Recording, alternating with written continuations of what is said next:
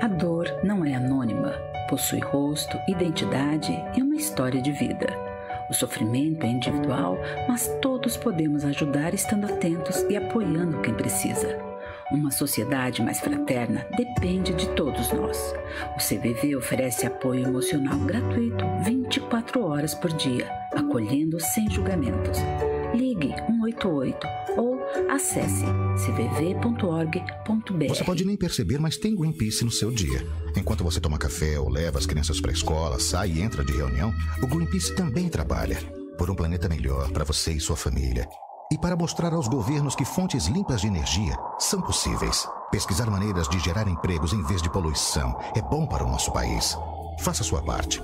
Acesse greenpeace.org.br e conheça nosso trabalho. Greenpeace. 24 horas por dia. O Greenpeace não aceita doações de empresas ou de governos, mas você pode colaborar. O Cicobi Unimais Metropolitana é uma cooperativa de crédito que possui todos os produtos e serviços que um banco tradicional, mas com grandes vantagens, taxas muito mais atrativas, prazos diferenciados e ganho social aos nossos cooperados. Além disso, o atendimento humanizado é uma de nossas marcas registradas. Para saber mais sobre nosso trabalho, procure a agência sede em Santos, na rua Doutor Carvalho de Mendonça, 187, no bairro da Encruzilhada Encruzilhada. Estamos também em São Vicente, Cubatão, Praia Grande, Guarujá, Peruíbe, além da capital, Grande São Paulo e ABC. Ou acesse o site cicobiunimais.com.br barra coop barra metropolitana e as nossas redes sociais. Cicobi Unimais Metropolitana. Há mais de 26 anos cuidando bem de você e do seu dinheiro. Somos feitos de valores.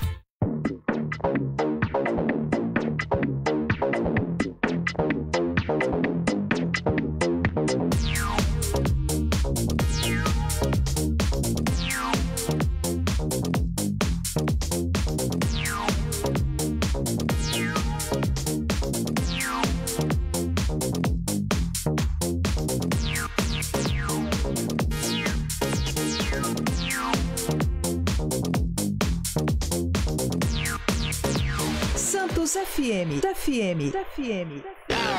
A partir de agora, Entre Linhas. Apoio Cicobi Animais Metropolitana. Há 25 anos cuidando bem de você e do seu dinheiro.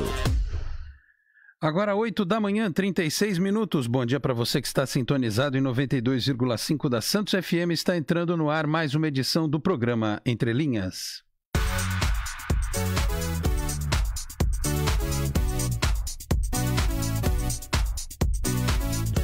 Confirmando 8 da manhã, 36 minutos. Bom dia para você que está conosco em 92,5 da Santos FM na cidade de Santos, em toda a Baixada Santista e pelos quatro cantos do planeta via internet no santosfm.com.br, também através do nosso aplicativo disponível na Apple Store e na Google Play Store.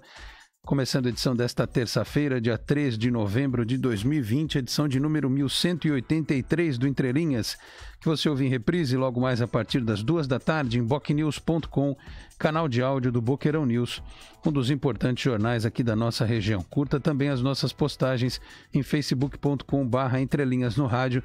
Lembrando que pela nossa página nas redes sociais você pode acompanhar o programa com imagens. A live está no ar. Curta, compartilhe e mande a sua participação. Lembrando que assim que o programa termina, a live fica salva. E se você perdeu o programa ao vivo, pode assistir mais tarde, se assim o quiser. Da mesma forma, estamos ao vivo também pela fanpage da Santos FM, facebook.com.br Santos FM e com o link compartilhado mais tarde também pelo Boc News no Facebook e no YouTube pela Boc News TV. Programa desta terça-feira, retornando após o feriado de finados nesta segunda, né? E também após alguns dias de ausência por uma questão aí de bom senso e segurança. Semana passada nós tivemos o programa na segunda-feira, porém nos outros dias eu tive que me afastar rapidamente porque apesar de eu já ter tido a Covid-19, né? Uh, em casa acabamos tendo dois casos confirmados, né? Mas graças a Deus todos estão bem e mantivemos aí esse pequeno período de isolamento. Estava fora do prazo em que uma reinfecção seria possível, mas por bom senso é, a direção da emissora achou por bem voltar só nesta segunda-feira. Ao longo desta semana também manteremos programa com os nossos conteúdos especiais, os convidados voltando ao estúdio a partir de semana que vem. Ou seja, né, é, segundo as estatísticas, temos um, números caindo em todo o Brasil, mas por mais cuidado que a gente tome, né, sempre acaba é, de alguma forma, de alguma maneira, indiretamente você sendo é, impactado aí pela pandemia. Enfim, o que a gente sempre diz aqui é mantenha as medidas de segurança, daqui a pouco eu vou falar sobre os números, mantenha a sua higiene das mãos, o uso da máscara, evite aí as aglomerações. E estamos aqui firmes e fortes, espero que agora de forma contínua e definitiva, né? Porque afinal de contas nós temos inclusive na próxima semana é, o, a, o, resultado das eleições, teremos o aniversário do Entre Linhas, enfim, muita coisa para a gente abordar e tratar nos próximos programas, tá certo? Começar o Entre Linhas de hoje com a nossa tradicional prestação de serviço. Atenção, você que vai utilizar o sistema de travessia de balsas na manhã desta terça-feira, segundo a informação oficial da DERSA, entre Santos e Guarujá, temos sete embarcações operando, tempo de espera de 15 minutos do lado de Santos, 15 minutos do lado de Guarujá. Travessia Santos Vicente de Carvalho, por sua vez, tem duas embarcações operando e está rápida a, embarcação, em 12 minutos de espera, apesar de uma embarcação a menos. E a travessia Bertioga Guarujá, outra travessia importante aqui para a nossa região, tem uma balsa operando, tempo de espera de 30 minutos em ambos os lados. Informação da Ecovias em seu Twitter, situação do sistema Anchieta Imigrantes. É, a informação da conta de que o tráfego é normal, a boa visibilidade em todas as vias do sistema Anchieta Imigrantes. Caminhões com destino a São Paulo devem acessar a Serra da Via Anchieta. Interligação Planalto bloqueada no sentido São Paulo, no sentido capital. Neste instante está em vigor a operação normal 5 por 5. Em relação ao clima, é, neste momento, aqui no bairro da Aparecida, em Santos, temos 21 graus, o tempo está encoberto, é, mas há uma boa luminosidade neste momento. É, a temperatura deve ficar na, variando até o início da tarde entre 21 e 22 graus, né, com pouquíssima possibilidade de chuva, na faixa de 1, 2%. O tempo deve continuar assim ao longo de todo o dia, né? Friozinho aqui pra gente, né? O dia tá um dos dias é, mais frescos dos últimos tempos. Uh, o sol pode aparecer entre nuvens ao longo do dia. Nesta quarta-feira deveremos, na quarta e na quinta, ter chuva, né? um pouquinho de chuva de novo, e o tempo melhorando novamente a partir de sexta-feira. Muito bem, 8h41, como eu disse, a gente vai apresentar aqui ao longo do programa conteúdos especiais, né? A gente sempre tem aqui a, os conteúdos da Casa do Saber, temos aqui os nossos colaboradores. Hoje tem aqui a participação do Tony Vasconcelos, que vai mandar uh, um, uh, um comentário para a gente a respeito do que aconteceu no final de semana no Mundial de Fórmula 1. É, então, daqui a pouco teremos todas essas informações. O Anderson Firmino também com as notícias do esporte. Afinal de contas, ontem teve o término oficialmente aí do primeiro turno do Campeonato Brasileiro. Apesar de que tem time como o São Paulo que deu tem três jogos a menos no campeonato, é muita coisa, né? Enfim, daqui a pouco falaremos sobre todos estes assuntos. E eu sempre tento começar o Entre Linhas, apesar de muitos acharem que não, mas esse programa ele se pautou ao longo da sua existência por não dar espaço para notícias factuais, para notícias é, pesadas, para notícias negativas, tristes. Mas o ano de 2020 tem sido muito difícil, né? Tem impactado nas nossas vidas de uma forma é, que é preciso muito equilíbrio para saber lidar com tudo que está acontecendo, seja no aspecto da saúde, no aspecto emocional, no aspecto financeiro, enfim. É necessário muita tranquilidade para lidar com tudo que a gente está enfrentando. É, e sempre fica a esperança, no caso da pandemia, aí, de termos uma, uma vacina em breve, seja ela qual for, é, para que a gente possa retomar pelo menos uma pseudo-normalidade das nossas vidas, né? Apesar de que muita coisa que a gente tem visto é, tem nos deixado bastante tristes em relação ao comportamento das pessoas. E talvez por isso, pelo fato de haver uma incerteza muito grande em relação ao que vai acontecer daqui para frente, é, certas notícias nos deixam um pouco mais tristes, né? nos deixam mais abalados, enfim. É, pessoas com as quais a gente não tinha convivência e a gente acaba sabendo é, é, da morte destas pessoas, é, seja pela, pela pandemia, seja por outros aspectos. Ontem foi uma comoção tremenda é, por conta da, do falecimento do ator que fazia né, o, o, o Louro José da, da, da Ana Maria Braga, né, é, o Tom Veiga, né, é, E antes, né, no final de semana, a morte do eterno 007, o Sean Connery, né? É, quem é da minha geração e os pouco mais velhos assistiram todos estes filmes do 007 e tal. É, porém, os fatos tristes, as coisas é, que nos abalam, as situações que nos pegam de uma forma mais intensa também estão muito próximas de nós, né? E eu estava aqui a caminho da rádio hoje, quando vi um comunicado é, num grupo de WhatsApp que, a, que congrega jornalistas aqui da Baixada Santista, é, uma postagem aqui, deixa eu até achar, postagem da família, né? É, nós perdemos é, o professor Iberê Cirna. Professor Iberê Cirna que, é, além de ter sido meu professor na faculdade, na Universidade Católica de Santos, professor de jornalismo, não só meu, de comunicação social, mas de tantos e tantos profissionais né, da área da comunicação. É, professor Iberê que vinha é, aqui ao Entrelinhas com alguma frequência, um pouco menos nos últimos meses, se eu não tiver equivocado, talvez neste ano de 2020, antes da pandemia, tenha sido do, talvez o último programa em que ele tenha participado para falar sobre a situação política, para falar sobre futebol. É, o São Paulino é, de quatro costados, o professor Iberê, que nos deixou depois de lutar é, contra um câncer e, e, e tentar né, levar a vida de uma forma leve. Quando ele veio aqui a última vez, ele me contou nos bastidores que estava enfrentando essa, essa luta. E, enfim, sem perder o sorriso, sem perder aquele jeito característico dele, né? Um dos grandes professores que a gente teve, nós jornalistas aqui em Santos, e que é, emprestou o seu conhecimento e a sua capacidade a tantos e tantos programas de rádio e de televisão aqui na nossa região. Então, é um dia muito triste, né? É mais um dia muito triste nessa nossa, nesse nosso 2020, né? É, ter que noticiar aqui a morte do professor Iberê, que até algum tempo atrás estava aqui, nessa bancada, sentado aqui ao meu lado. É, a, mostra e a prova de que o Iberê até o final, eu repito, levou a sua passagem por este planeta com um, um sorriso no rosto, com alegria de sempre, né? que a gente tem que aproveitar a vida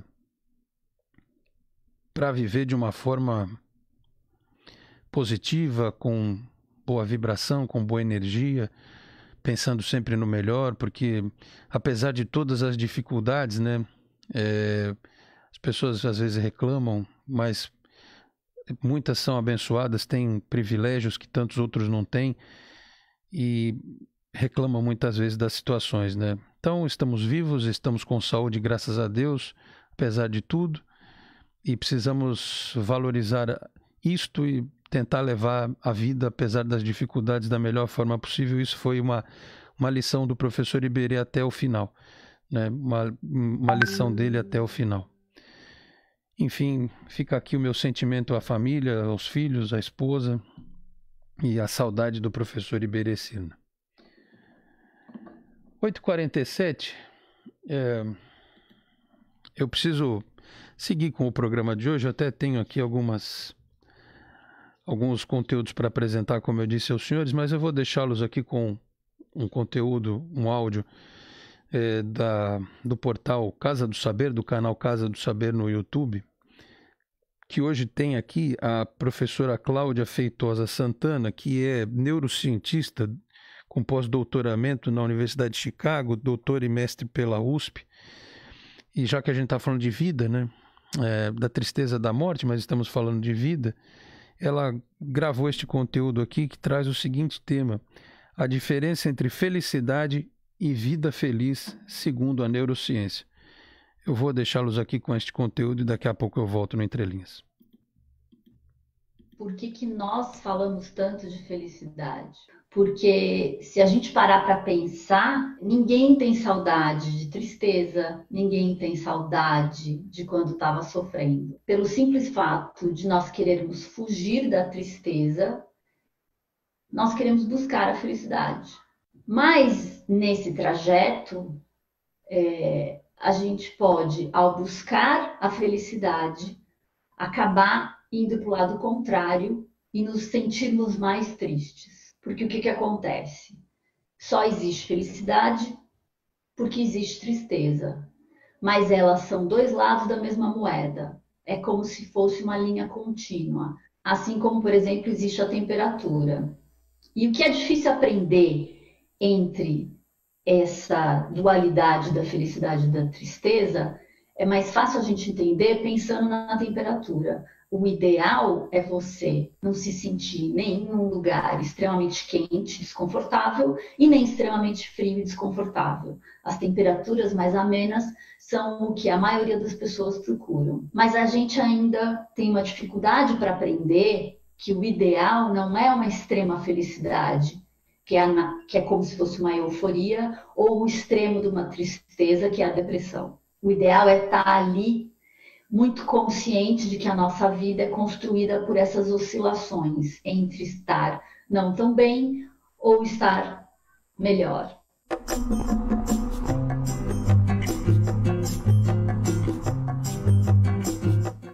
Eu já fiz um vídeo aqui no canal sobre alguns pontos que nos ajudam na felicidade.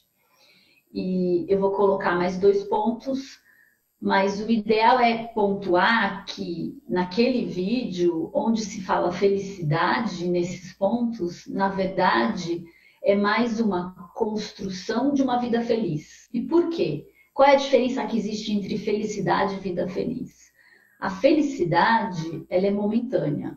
Ela pode durar alguns segundos, algumas horas, ou ela pode durar alguns dias, mas em geral um dia. A felicidade é uma coisa muito a curto prazo, porque como a nossa vida é construída desses contrastes entre felicidade e tristeza, está muito momentânea.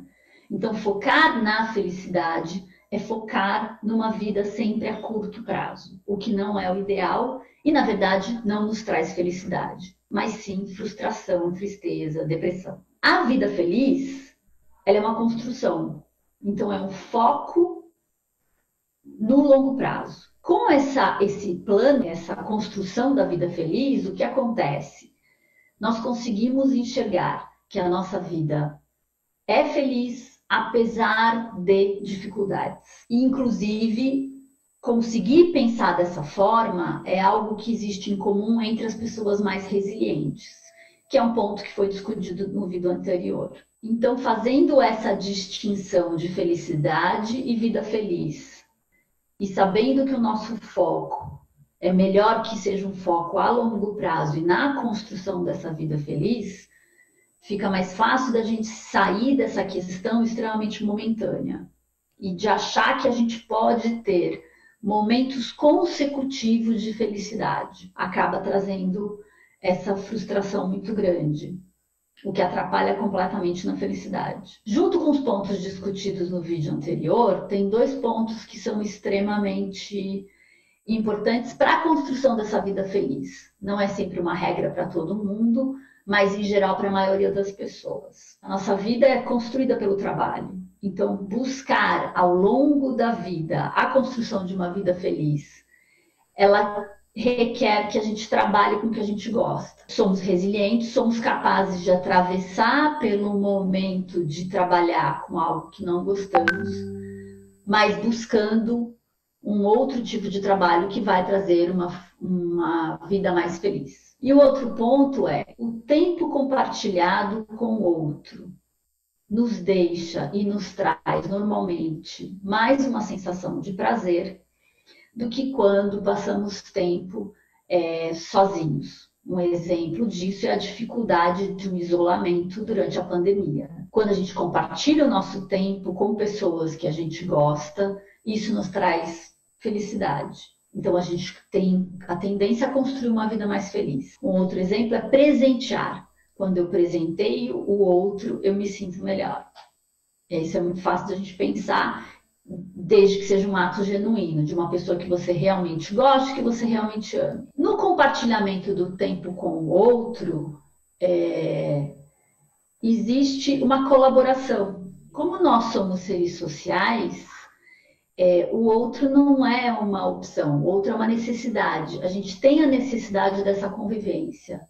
E é por isso que a gente sofre tanto quando a gente não tem uma convivência harmoniosa com as outras pessoas. Quando você constrói uma convivência harmoniosa e você consegue colaborar, esse é o famoso do altruísmo. Você está investindo em outra pessoa. E isso é extremamente importante para nós, justamente por o outro ser uma necessidade e não uma opção.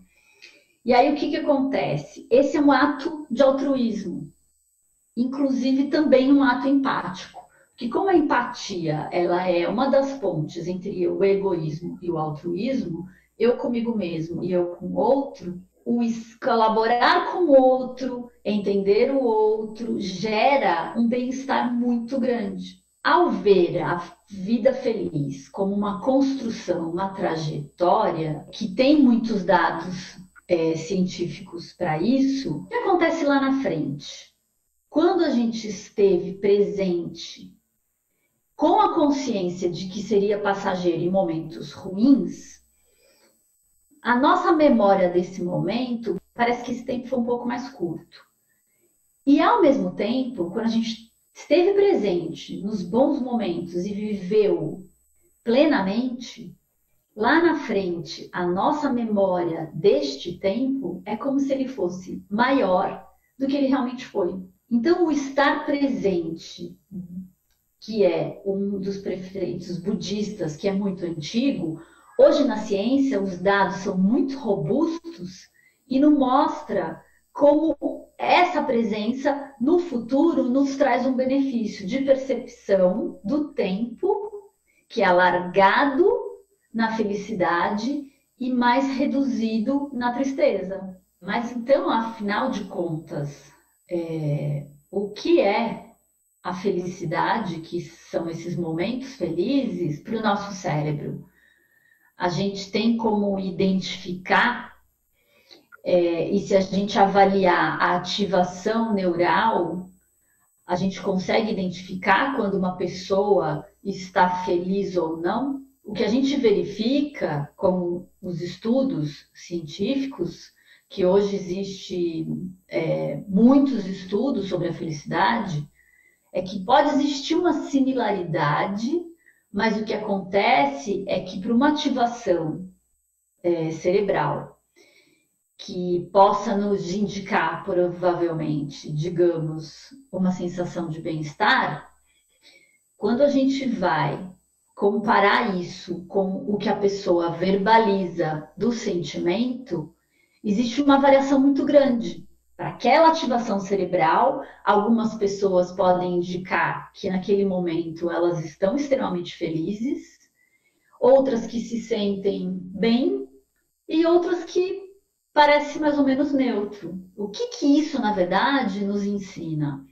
É que não existe uma ativação cerebral que a gente possa dizer que essas pessoas estejam todas, todas com essa ativação, que elas estejam todas felizes igualmente.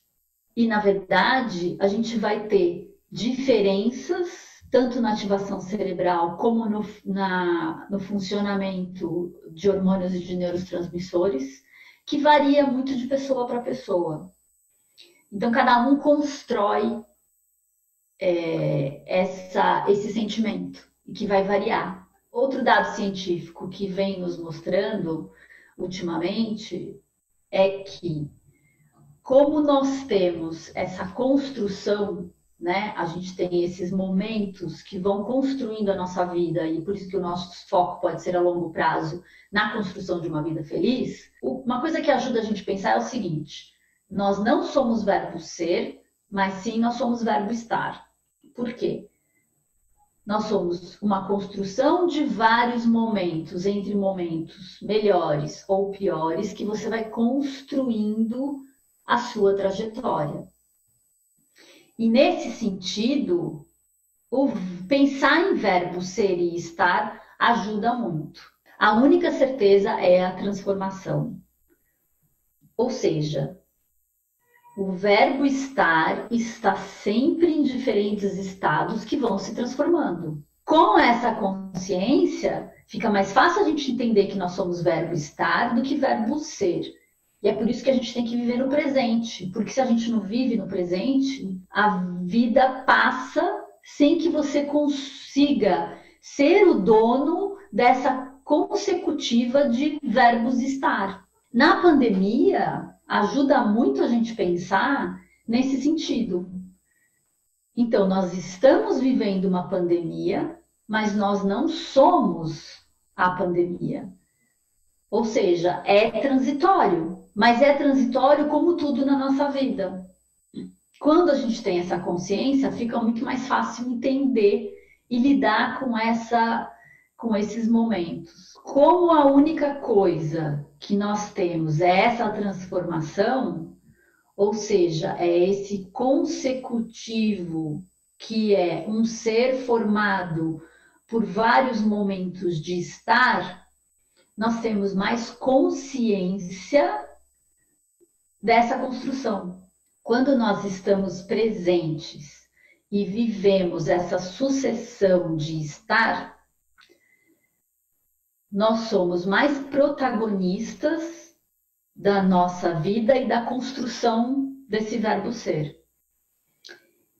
Sendo mais protagonista dessa sucessão e dessa trajetória, a gente consegue ser mais dono e muito mais protagonista dessa construção de uma vida feliz que é uma visão a longo prazo. E o dizer que é, dinheiro não traz felicidade, ele é mentira. Cientificamente falando, o que, que os estudos mostram? Que pouco dinheiro, faltando dinheiro, vai ser difícil, bem mais difícil para ser feliz. Mas isso também é algo subjetivo. E dinheiro em excesso também é mais difícil para ser feliz. Mas por quê? Aqui está faltando e aqui está sobrando. E parece contraintuitivo, porque se está sobrando, como é que não vai trazer felicidade? É porque se tem dinheiro sobrando, tem muita opção. Quando a gente tem muita opção, a gente tem a dúvida. E o nosso cérebro não sabe lidar com dúvidas, com incertezas isso traz uma frustração, uma tristeza, um mal-estar muito grande. Na maioria das pessoas, a curva mostra que o ideal é você ter dinheiro suficiente para fazer o que você precisa e sobrar um pouquinho, não mais que isso. Mas lembrando que, obviamente, isso tudo muito, é muito subjetivo e tem gente que foca em ter muito dinheiro e nesse, não necessariamente tem essa construção da, da vida feliz. De novo, a pandemia ajuda a gente, porque como a pandemia nos restringe na nossa liberdade, para muitas pessoas, inclusive na questão financeira, é óbvio que se está faltando, vai ser mais difícil ser feliz, mas dá para construir uma vida feliz, pensar a longo prazo, porque a pandemia vai passar. Mas com a pandemia, muitas pessoas tiveram a oportunidade de perceber assim, o que eu realmente preciso. E aqui, cientificamente, o budismo nos ajuda de novo. O budismo acaba nos remetendo exatamente no que a gente encontra com os dados científicos, que é a construção de uma vida simples. Uma vida simples significa ter o que a gente precisa. Ela não precisa nem de menos e nem de mais. É justamente encontrar a tal da felicidade que a gente busca tanto. 92, aí portanto a palavra da professora Cláudia Feitosa Santana neste conteúdo do portal Casa do Saber, falando sobre a diferença entre felicidade e vida feliz, segundo a neurociência. 92, vamos para o intervalo. Daqui a pouco voltamos aí com o noticiário do esporte, tem o Anderson Firmino, Tony Vasconcelos e outras informações aqui no Entrelinhas. Até já. Santos FM. Apoio Cultural. O Cicobi Unimais Metropolitana é uma cooperativa de crédito que possui todos os produtos e serviços que um banco tradicional, mas com O estresse da manhã deu enxaqueca? Chegou o novo Dorflex Mono Potente contra enxaqueca. nossos cooperados. Além disso, o atendimento humanizado é uma de nossas marcas registradas. Para saber mais sobre nosso trabalho, procure a agência sede em Santos, na rua Doutor Carvalho Gostou de desse Mendonça, vídeo? 187, no bairro da Encruzilhada. Estamos também também em São Vicente, Cubatão, Praia Grande, Guarujá, Peruíbe, além da capital, Grande São Paulo e ABC. Ou acesse o site cicobiunimais.com.br barra coop barra metropolitana e as nossas redes sociais. Cicobi Unimais Metropolitana. Há mais de 26 anos cuidando bem de você e do seu dinheiro. Somos feitos de valores. O tempo passa! São oito anos de administração de Paulo Alexandre Barbosa, com muitas entregas e compromisso com a população. Transformando a cidade! Foram 11 policlínicas, nove escolas, vilas criativas e muita pavimentação por todos os morros. Teve até mais bom prato, galerinha! Ele pintou a crise e tocou a reforma do Hospital dos Estimadores, da rodoviária, da Lagoa da Saudade e o Jardim Botânico! Olha lá, olha lá, olha lá! Nova entrada de Santos, nova ponta da praia, novo mercado de peixe. Que centro de convenções lindo é esse? O Paulo Alexandre parou, tocou pro Rogério, que matou no peito. E 45! Em time que tá ganhando, não se mexe, galera. É Rogério Santos 45 na cabeça, pra Santos seguir em frente. Meu prefeito é Rogério Santos. Coligação Juntos para Santos seguir em frente. PSDB, Democratas, PL, Podemos, PP, PSB, PSL, Republicanos. Plante o melhor futuro para você e sua família. Residencial Reserva Brasil. A exclusividade de uma única torre com lazer de clube. Distribuídos em 15 espaços diferenciados. Um apartamento do tamanho da sua família. Plantas de 82 metros quadrados e 120 metros quadrados. Central de vendas 3513-3199. Residencial Reserva Brasil. As melhores sementes dão os melhores frutos. Construtora Miramar e Grupo Mendes. CYW 635, Santos FM 92.5. Santos FM, emissora da Associação Cidade de Santos. 92.5. Santos FM. FM. FM. FM. 95 de volta com Entrelinhas.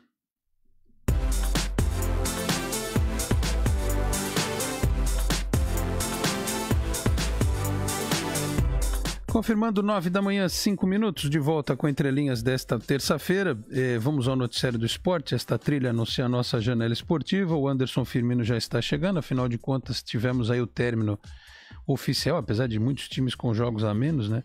Do primeiro turno do Campeonato Brasileiro. E daqui a pouco tem o Tony Vasconcelos com o noticiário da Fórmula 1, noticiário da velocidade. Vem chegando, portanto, o Anderson Firmino para falar sobre o Brasileirão e outras novidades, outros esportes. Bom dia, Anderson. Bom dia, Alex. Bom dia, ouvintes do Entre Linhas. Prazer em conversar com vocês mais uma vez nessa terça-feira.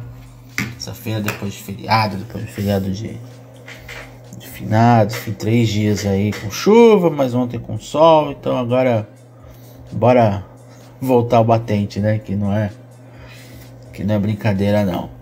Alex, ontem uh, o Santos embarcou para Fortaleza, né? Onde joga amanhã, 7h15 da noite, contra o, o Ceará, pela partida de volta da Copa do Brasil, da Copa do Brasil. E muito legal ontem que os torcedores do Santos foram até o aeroporto de Guarulhos para saudar a equipe, né? Para dar aquele apoio. Bacana que isso aconteça, embora não seja recomendado do ponto de vista de aglomeração, de de distanciamento social, enfim, mas o fato é que o torcedor do Santos está abraçando a equipe do Cuca, né? Os jogadores estão fazendo por onde no domingo é, tiveram uma boa vitória contra o Bahia, o Santos está ali nas primeiras colocações do Brasileirão, enfim, é, o Santos abraçado pela torcida. Vai lembrar que o jogo de ida na Vila Belmiro terminou 0 a 0 né? E a novidade para esse jogo nessa volta do Pará recuperado de dores na coxa, ele viajou e vai ficar à disposição do Cuca para a partida de amanhã. Ontem terminou a rodada brasileira. Terminou o primeiro turno, Alex? Ou não? Né? Depois eu vou explicar isso melhor. Mas ontem terminou a 19 rodada, a última do primeiro turno, e o Palmeiras ganhou 3 a 0 do Atlético Mineiro. Confronto direto, né? Times que brigam na parte de cima da tabela. O Verdão meteu 3 a 0 o jogo foi no Allianz Parque né? Os gols foram do Rafael Veiga, do Rony e do Wesley. Gols rápidos de contra-ataque, etc. O Palmeiras conseguiu uma forma ali de neutralizar o time do Jorge Sampaoli.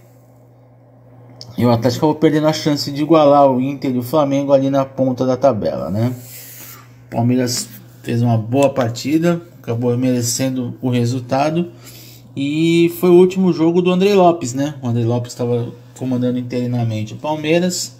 Ontem o Abel Ferreira, o português, já estava assistindo o jogo nas tribunas do, do Allianz Parque. Deve assumir o comando do Verdão já a partir da partida de quinta-feira contra o Bragantino. Jogo também válido pelas oitavas de final da Copa do Brasil. Ontem também teve Grêmio 2, Bragantino 1. No espaço de 3 minutos, o Grêmio transformou um jogo que não tinha grandes emoções numa vitória. Né? Os gols foram do David Braz e do Orejuela. O Hurtado diminuiu para a equipe de Bragança Paulista. E o Grêmio tá ali também. O, Grêmio tem aquela coisa de. Tá em oitavo lugar. É, é mais copeiro do que Copa do que Campeonato Brasileiro, né? Mas de qualquer forma ter uma colocação ali boa ali perto do G6 pode dar alguma dor de cabeça para quem está no pelotão da frente, porque o time é bom, Renato Gaúcho tem uma perdão, uma estrutura, vão ter uma vivência de clube é bem bacana. Vamos falar da rodada no geral, fazer um balanço aqui rapidinho. A rodada começou no sábado com Botafogo 2, Ceará 2. O Corinthians venceu o Inter por 1 a 0. Vitória importante para o Corinthians, né, do Wagner Mancini, começando a ensaiar uma recuperação no Brasileirão. O Coritiba ganhou de 1 a 0 do Atlético Goianiense.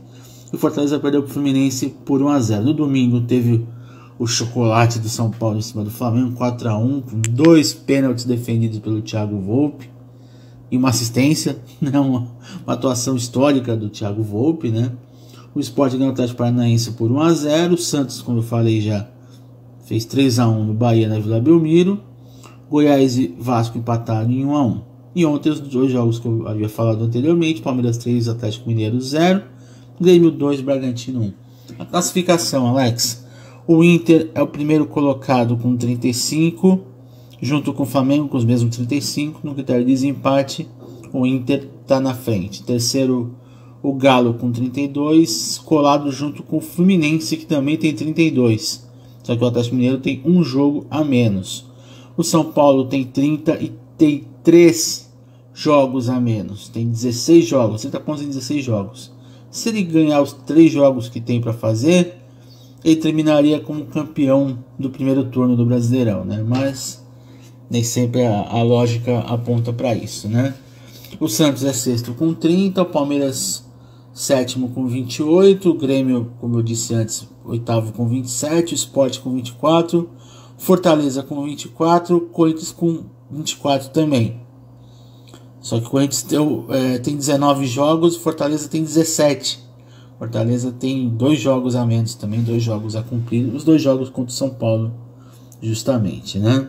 O Ceará 12 com 23, o Atlético Goianiense com 22, Botafogo com 20. Botafogo deve fechar com César Farias, né, o técnico da seleção da Bolívia. Deve estar tá chegando o Botafogo.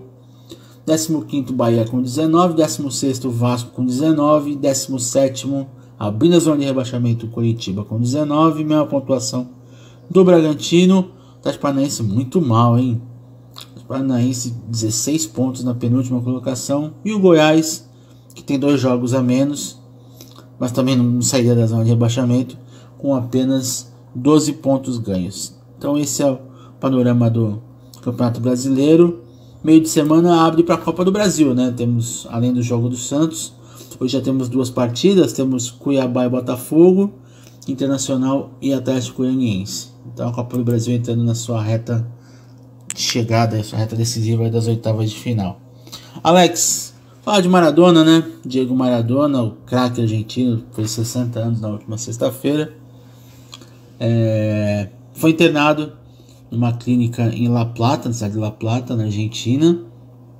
Mas segundo o médico particular dele, o Leopoldo Luque, não há motivo de emergência envolvendo a internação do jogador. Ele afirma que o, Maradona poderia estar melhor, obviamente, né?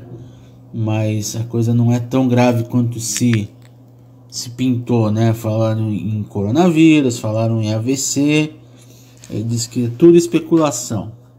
Ele está no hospital ter que se hidratar, porque a pandemia estava com o mínimo é, de pessoas possível para poder vê-lo.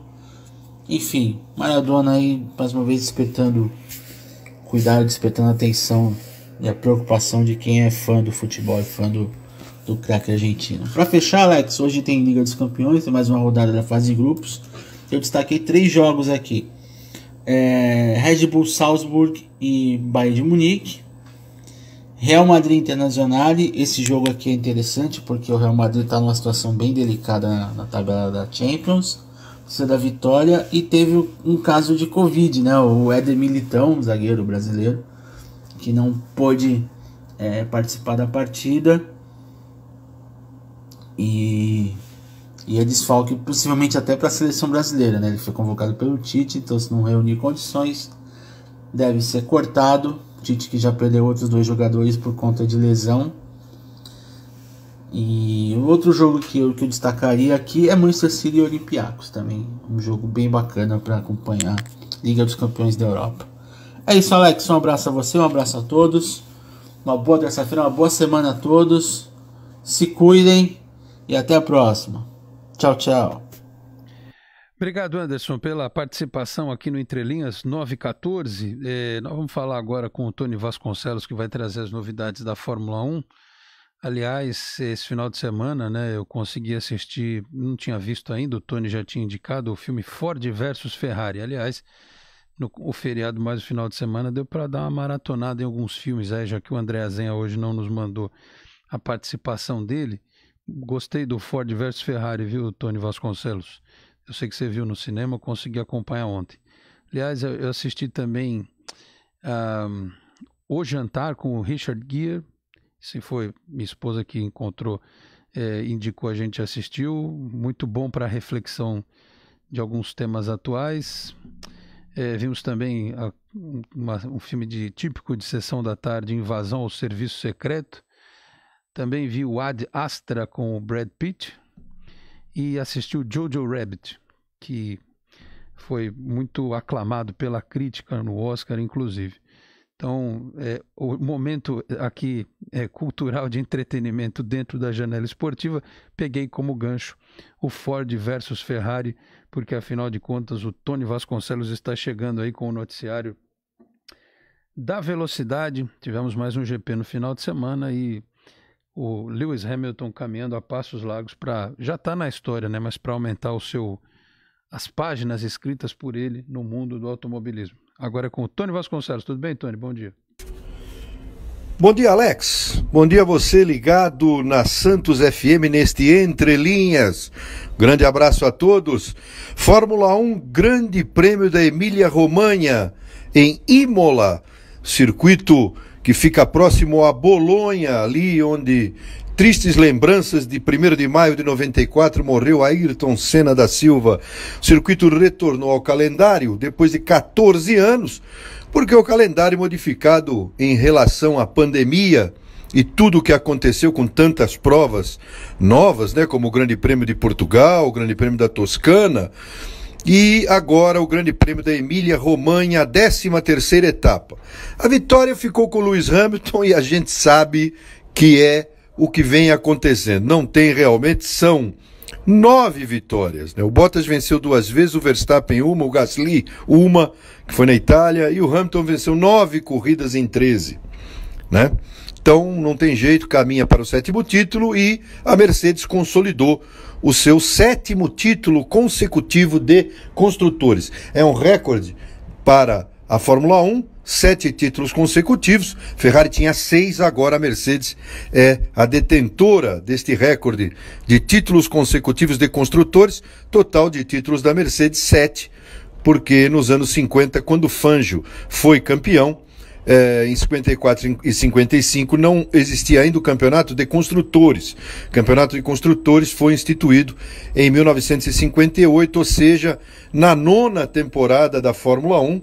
Então não existia ainda o campeonato de construtores quando a Mercedes atuava como equipe e depois abandonou em 55, só retornando aí nos anos 2000. E, e sim fornecendo motores, mas como equipe e agora nessa fase brilhante da Mercedes, o Hamilton caminha para mais um título e a equipe já é campeã. Próxima corrida, 15 de novembro, Grande Prêmio da Turquia. A Turquia também retorna ao calendário o Massa, que tem várias vitórias na Turquia, né? O Felipe Massa venceu com a Ferrari por lá. E teremos mais esta prova na Turquia, então 15 de novembro. Campeonato que continua 29 de novembro no Bahrein. Dia 6 de dezembro em Sakir, que é o circuito do Bahrein, só que é uma parte externa do circuito que será uh, usada para esta corrida 6 de dezembro e 13 de dezembro o campeonato termina em Abu Dhabi. E o Hamilton, sem dúvida nenhuma, será o campeão, já não tem mais jeito. O Hamilton em primeiro, Bottas em segundo, e vejam que o Bottas largou em primeiro na pole position e teve problemas quando foi atingido por um detrito, problemas no assoalho do carro, mas a gente sabe que também não é só isso, né? O Hamilton em cada 40 voltas é 38 mais rápido que o Bottas. Então, ele acabou caindo para segundo, trocas de pneus, enfim, e ficou em segundo fazendo a dobradinha, porque não deu para segurar o Hamilton. Parecia, quando fez a pole o Bottas, que ele poderia realmente marcar a vitória e o Hamilton ficar em segundo. O Daniel Ricardo ficou em terceiro, a Renault foi muito bem novamente, e o Ricardo chegou em terceiro o Daniel Kvyat da AlphaTauri em quarto e o Leclerc com a Ferrari em quinto. O Leclerc lutou bravamente para levar essa Ferrari à quinta colocação, uma Ferrari que tem problemas, né? E problemas ah, teve durante o fim de semana de saída de traseira, saída de frente, modificações na asa dianteira. Ferrari vem lutando também para tentar trazer alguma novidade até o fim do ano, mas não pode pensar muito porque não tem mais o que fazer eh, nesse ano e tem que pensar no carro do ano que vem, naquilo que pode ser melhorado dentro do regulamento. São poucos pontos, o carro terá pouca evolução e a parte traseira do carro é o foco da Ferrari para o ano que vem, que teve muitos problemas. É, a suspensão traseira e a parte traseira, a aerodinâmica da, da, da, parte traseira do carro esse ano de 2020. E o, e o Vettel uh, acabou ficando apenas em 12, problemas no pit stop. O Vettel realmente não se encontrou com este carro da Ferrari. Isso o que temos aí para a corrida da Emília Romanha, mas vamos fazer aqui uma lembrança dos contratos, como é que estão, né? O Lewis Hamilton fica na Mercedes, mas ele não assinou ainda. Porque ele tem um contrato que vence no fim do ano e pediu muito dinheiro. Então Hamilton fica na Mercedes, mas ainda vai ter que assinar, viu? O Bottas será seu companheiro, já confirmado. Ferrari terá ano que vem Carlos Sainz Jr., que está na McLaren e vai para a Ferrari, e o Charles Leclerc. O Verstappen está certinho com a Red Bull, mas o Alexander Albon pode sair da Red Bull, pode chegar Sérgio Pérez, pode ser Nico Huckenberg, não se sabe. O Albon está ameaçado na Red Bull. Daniel Ricardo e Lando Norris, dupla certa da McLaren para o ano que vem. Certa também a dupla da Renault, com Esteban Ocon e a volta de Fernando Alonso à Fórmula 1. Companheiro do Ocon, a Renault que se chamará Alpine, que é o nome da marca também que a Renault detém, muito antiga a marca Alpine. O Daniel Kvyat, que está na AlphaTauri, não tem contrato acertado, é uma vaga que pode se abrir, porque alguém pode ir para a AlphaTauri aí eh, e o Daniel Kvyat pode dançar, tá? E o Pierre Gasly, o bom piloto da França, assinou o contrato confirmado nesse final de semana. A Aston Martin terá Sebastian Vettel e Lance Stroll, atual Racing Point será Aston Martin, também confirmado nesse final de semana. A Alfa Romeo confirmou Kimi Raikkonen e Antônio Giovinazzi, a mesma dupla deste ano, e a Haas que tem os dois lugares vagos. Magnussen e Grosjean estão fora da Haas. Pode chegar aí o Mick Schumacher para a equipe Haas, o filho do Michael Schumacher, a Haas que leva o motor da Ferrari. E a Williams confirmou o George Russell e já estava confirmado o Nicolas Latifi. Essa Fórmula 1 que a gente espera uh, uh, uma, modificações pequenas ainda para o próximo ano e teremos, sem dúvida nenhuma, grandes modificações para 2022. E a pandemia na Europa continua pegando e pegando feia, essa segunda onda, e estão preocupados, sim, com, com essa corrida ainda. É, que teremos na Turquia, né? Porque a situação lá também não é legal, mas depois a Fórmula 1 vai para o Oriente Médio, né? Bahrein e Abu Dhabi. Então, a Turquia, que não está tão bem, mas no Oriente Médio a situação não é tão ruim. Fórmula 1 parece que não terá problemas para encerrar este calendário de 2020 tão tumultuado. Tá certo, Alex? Um abraço a você, ao ouvinte ligado na Santos FM. Uma grande semana a todos, hein? Tchau! Obrigado, Tony, pela participação. 9 e 23. Aliás, o Tony, enquanto a gente é, exibia aqui o comentário dele, mandou mensagem também.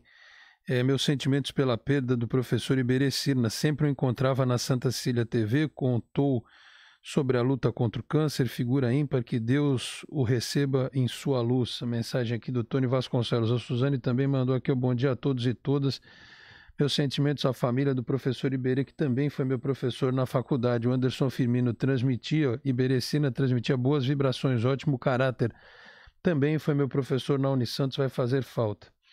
Uh, mandaram mensagem também o Fernando da Silva Carvalho, bom dia, boa semana, e o companheiro Ted Sartori na audiência dos amigos, grande abraço. Também aqui, curtindo o nosso programa, o Renato Oliveira, a Margarete Rose Ferreira e o Flávio Viegas Amoreira, desejando é, bom retorno, bem-vindo, Alex. Obrigado, Flávio, pela participação. E ele é, relembrando a oficina literária e cultural de novembro de 2020, como se tornar escritor, poesia, contos, romance, com o Flávio Viegas Amoreira, poeta, escritor, crítico literário, caminhos e novas tendências da literatura, análise de textos clássicos, comentários sobre novos autores, consultoria para escritores quartas e quintas é, da, às sete e meia da noite, uma hora de duração pelo Facebook, tem lá, se você procurar pelo Flávio é, no Facebook, tem a página dele lá, né, o contato dele, ele passa todos os detalhes de como fazer aí para você participar é, destas, destas oficinas promovidas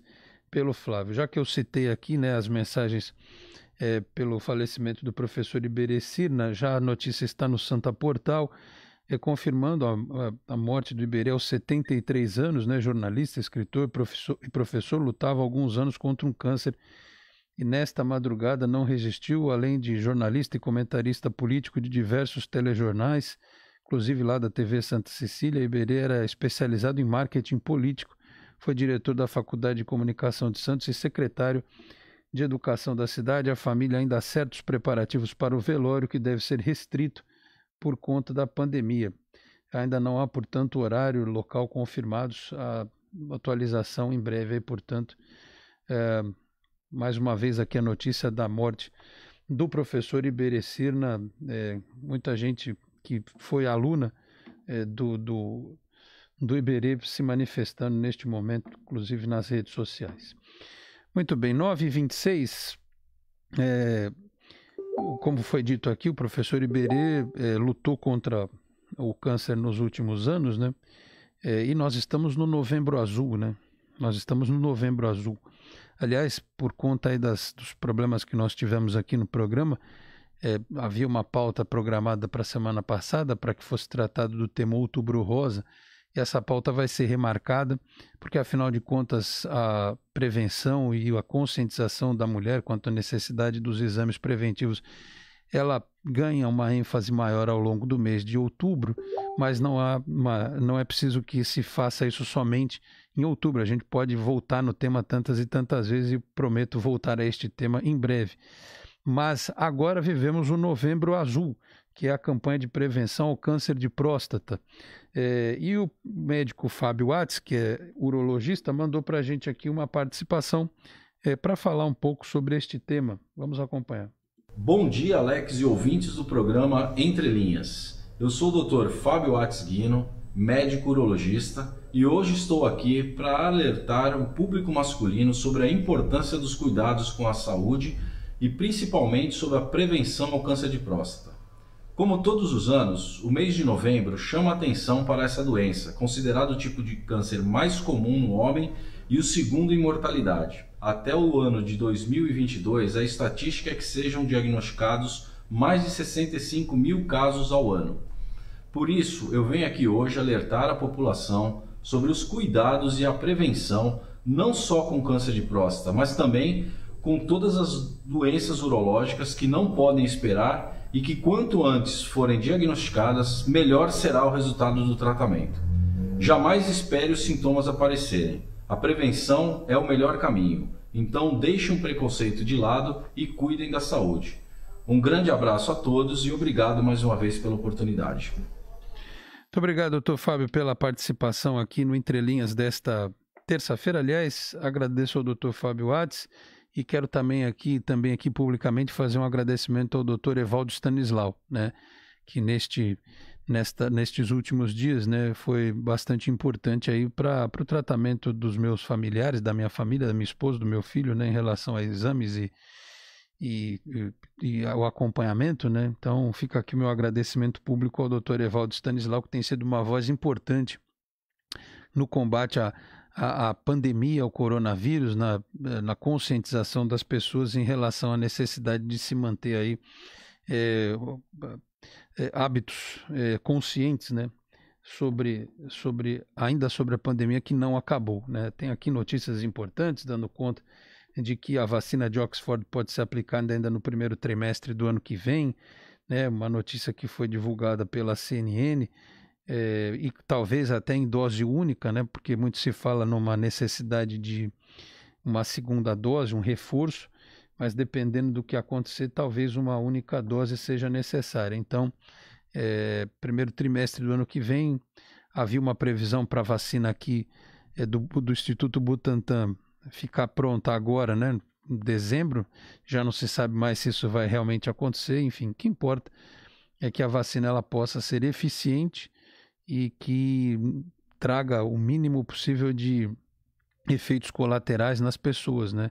Nós já tivemos alguns problemas com testes, então, na verdade, a gente espera pela vacina, mas quer que ela venha testada e de forma segura para todos. Portanto, é, notícia importante aí em relação a, ao coronavírus. Em relação aos números aqui da região, segundo o G1, a Baixada Santista registrou 100 novos casos de Covid e um óbito nesta segunda-feira, segundo os boletins epidemiológicos divulgados pelos municípios.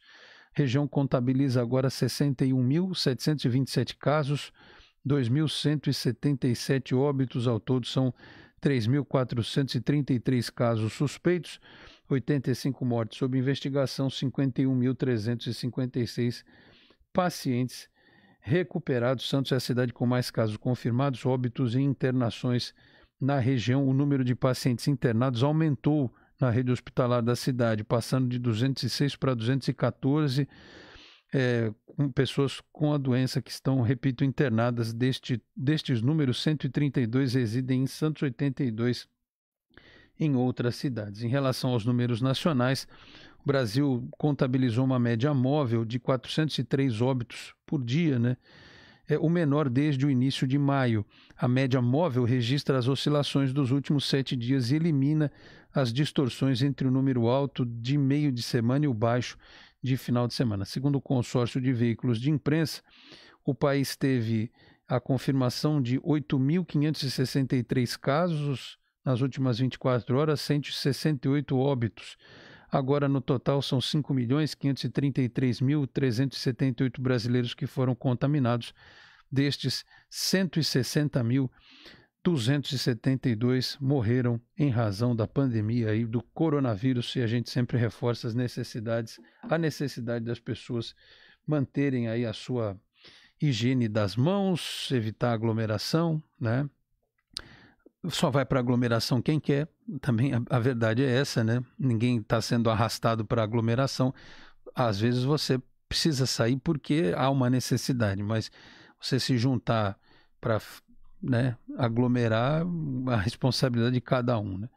Enfim, é, as, as recomendações elas já são de domínio público, as pessoas sabem decore e salteado, cabe a elas é, atender ou não, acreditar ou não é, no que a ciência vem apresentando neste ao longo deste ano de 2020, é, ao longo de todo este ano de 2020, tá certo?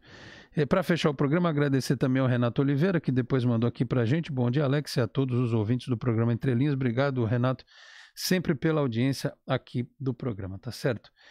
9h32, vamos fechando aqui esta edição do programa Entre Linhas, no retorno do Entre Linhas aqui pela Santos FM, nesta terça-feira, dia 3 de novembro. É, já dito aqui desde o início do programa, programa um pouco mais triste aí pelo, pela morte do nosso querido professor Iberecir, na 73 anos, que tantas e tantas vezes veio aqui ao programa. Eu repito, talvez, é, não, talvez, eu quase certeza que este talvez tenha sido o último programa em que o o professor Iberê veio, né? é, trazer o seu conhecimento aqui sobre tantos e tantos temas. Então, a gente fecha o programa de hoje é, com este sentimento de tristeza é, e abraçando a família neste momento. 9h33, fechamos assim esta esta edição do programa Entre Linhas, que você ouve em reprise logo mais a partir das duas da tarde em bocnews.com no canal de áudio do Boqueirão News, que é um dos importantes jornais aqui da nossa região. Curta também as nossas postagens em facebook.com/barra entrelinhas no rádio. Lembrando que assim que o programa terminar, a nossa live fica salva e você pode assistir novamente, se assim o quiser. Da mesma forma, pela fanpage da Santos FM, facebook.com/barra Santos FM, com o link compartilhado mais tarde pelo Boc News tanto na sua página do Facebook quanto pelo canal do YouTube Aboc News TV. Fique atento, por aqui a informação não para. Daqui a pouco, 10 da manhã, tem edição do Santos News com a Ruth Guzmão, que volta com uma nova edição às 11. E ao meio-dia, meio-dia e pouquinho, né? Chega por aqui nos 92.5, meu amigo Zé Torquato, com o ZR News até a uma hora da tarde. Entre linhas, volta nesta quarta, a partir das 8 e meia da manhã. Grande abraço a todos até lá. Tchau, pessoal. Você ouviu Entre Linhas. Apoio Cicobi Animais Metropolitana. Há 25 anos cuidando bem de você e do seu dinheiro. Santos FM. FM. FM. A dor não é anônima, possui rosto, identidade e uma história de vida. O sofrimento é individual, mas todos podemos ajudar estando atentos e apoiando quem precisa.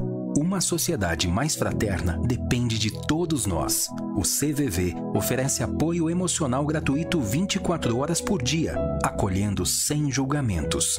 Ligue 188 ou acesse cvv.org.br.